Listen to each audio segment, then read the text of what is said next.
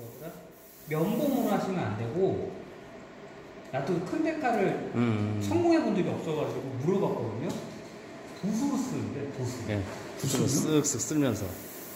그 기포 없애려고 문대다가 다 찢어먹거든요. 네. 큰 데카들. 대형 데카들 진짜 어려워요. 힘들어요.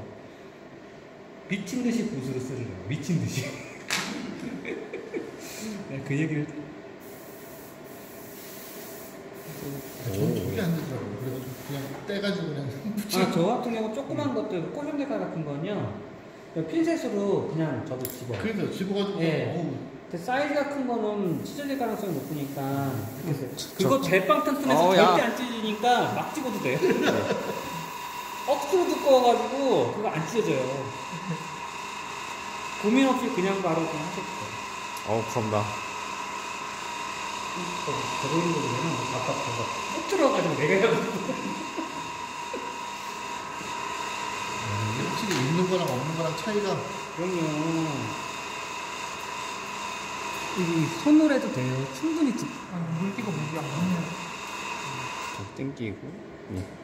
이렇게 일단은 아유 핀셋 핀셋 일단은 올려놓으신 다음에 그 다음에 손, 손에 이제 그걸 떼셔야 하고. 이게 올려놓으신 다음에 살살살살 위치를 잡으세요 예 얘를 끄고 댕 질질 끄고 당기면서 음. 살살 위치를 잡으세요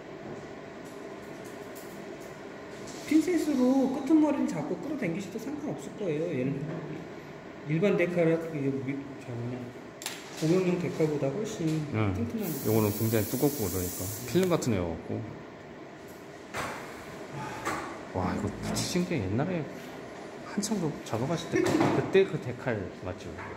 이게 그막 HD 그 건담에다가 예. 막 땡땡이 무늬 붙이고 막 맞아, 맞아, 이렇게 맞아. 했죠. 맞아, 맞아. 어, 이쁘다.